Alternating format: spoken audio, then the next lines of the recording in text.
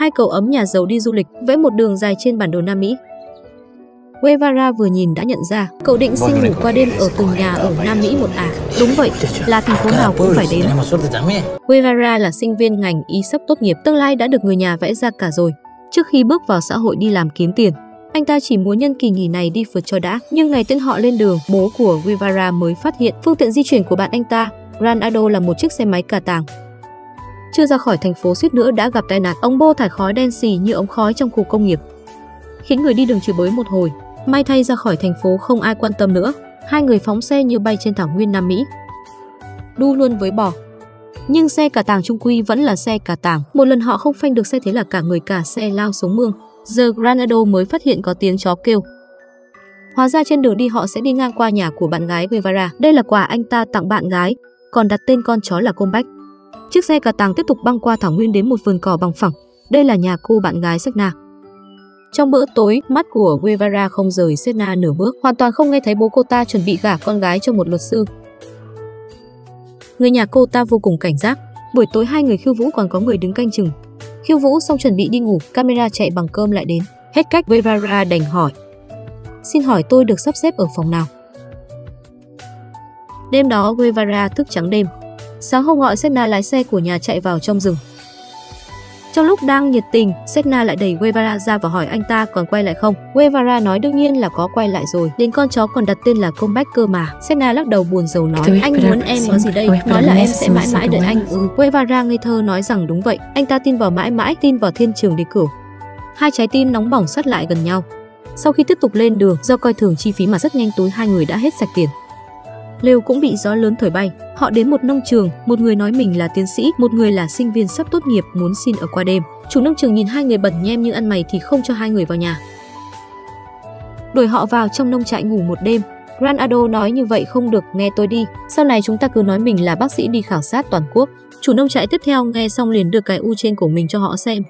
Guevara không biết nói dối liền nói là ung thư, mau đến bệnh viện trong thành phố đi. Granado nhanh chóng ngăn anh ta lại và nói chỉ là cái nhật bình thường thôi.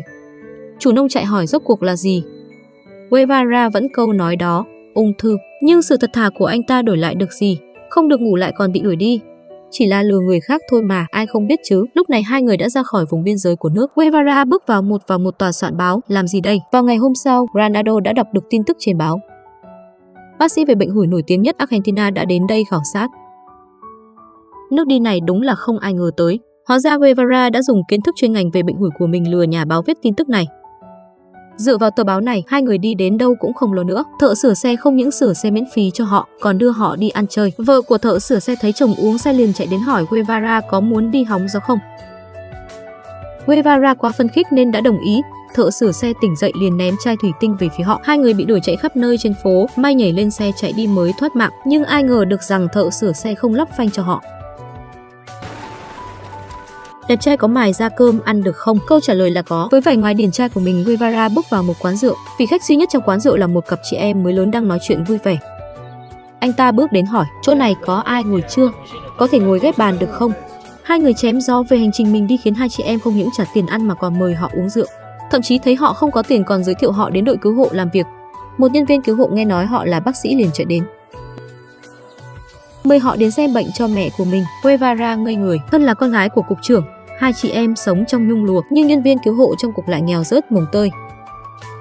Mẹ bị bệnh còn không có tiền đi bệnh viện, Guevara nhìn ra được là bệnh ung thư, chỉ có thể đưa cho họ một lọ thuốc giảm đau. Ngoài chuyện đó ra, anh ta không thể làm gì hơn. Lúc rời đi, xe máy đã bị phế hoàn toàn. Họ bán xe quyết định tiếp tục hành trình bằng việc đi bộ. Khi đi qua Gobi, hai người gặp một vợ chồng đào mỏ đang bỏ trốn. Hai vợ chồng hỏi hai người tại sao lại đi phượt. Chúng tôi đi phượt vì muốn đi thôi. Hai vợ chồng phải đi tìm việc khắp nơi không hiểu. Sao lại có người rảnh rỗi đi lượn lờ khắp nơi chứ? Là ăn no quá nên rảnh rỗi ư? Hai vợ chồng dẫn họ đi xem cuộc sống của mình. Đến một mỏ quặng làm việc cả buổi sáng đừng nói là ăn cơm, đến cả nước cũng không có mỏ uống. Tiếp theo quản công chọn người cứ như chọn hầu. Rồi đưa người lên xe tiến đến mỏ quặng tiếp theo. Guevara rất tức giận, ít nhất anh cũng phải cho người ta uống nước chứ. Quản công lập tức chửi lại cút mau, không cút tao bắt luôn cả mày lên xe đó. Guevara chất vấn các anh không có quyền chấp pháp, dựa vào đâu mà bắt người. Quản công cười nhạt, dựa vào đâu? Dựa vào nơi này là tài sản của công ty. Tư bản chính là thứ có thể họ ngang nhiên lạm quyền. Sau khi rời khỏi mỏ quạng, ngồi trên xe, Guevara nhìn thấy cư dân châu Mỹ đang di cư. Dưới chân họ là mảnh đất mà tổ tiên họ đã đời đời sinh sống. Nhưng giờ có người lấy cớ khai hoang phát triển sau khi trở thành mỏ quạng, họ lại thành kẻ vô gia cư. Người dân trong vùng lương thiện đưa họ đi xem cố đô, nơi này vốn từng đông đúc, nhộn nhịp, 200 năm trước thực dân đến đây không sửa chữa gì hết. Mà xây ngay một nhà thờ đồ sộ ở bên cạnh. Một chị gái người bản địa chỉ cảm thấy cuộc sống dần dần xấu đi, mà không hiểu rằng tiền mà dân bản địa dùng để xây dựng nhà thờ kia đến từ đâu. Do thiếu giáo dục họ chỉ có thể lạc quan, giản dị đối diện với cuộc sống. Trên đường đi những hoàn cảnh như vậy ngày càng nhiều. Địa chủ chiếm dụng đất còn gọi cảnh sát chống lưng. Do đó người dân phá sản có ở khắp nơi. Đến cố đô ma chữ pích chủ của người Inca, cuối cùng Guevara cũng nghĩ thông một chuyện. Người Inca phát triển về toán học thiên văn họa, khoa học hơn thực dân rất nhiều.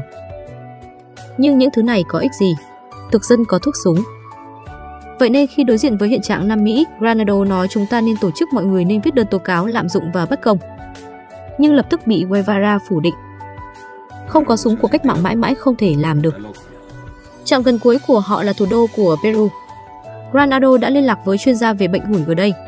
Chuyên gia nhiệt tình tiếp đón hai người. Không ai chú ý một điều rằng chuyến đi này đã thay đổi một cậu ấm nhà giàu nhiều đến mức nào. Anh ta nghĩ lại hoàn cảnh của những người, những việc đã gặp trên đường đi, trong đầu chỉ có một suy nghĩ. Cách mạng thành công không phải là bắt trước, mà phải có tính sáng tạo, tính bản địa. Chuyên gia rất vui vì hai người có lý tưởng cao đẹo và suy nghĩ vĩ đại. Ông ta viết một bức thư giới thiệu cho hai người đến thôn Bệnh Hủi tham quan. Trước khi đi, chuyên gia bảo hai người đánh giá tiểu thuyết mình viết.